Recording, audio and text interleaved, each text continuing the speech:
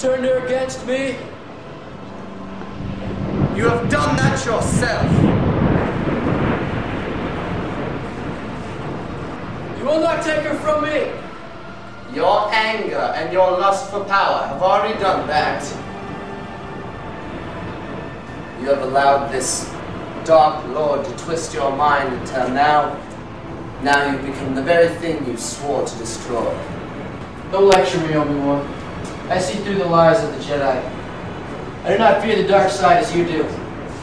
I have brought peace, freedom, justice, and security to my new empire. Your new empire? Don't make me kill you.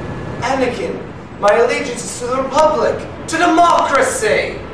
If you're not with me, then you're my enemy. Only a Sith deals in absolutes. I will do what I must. You will try.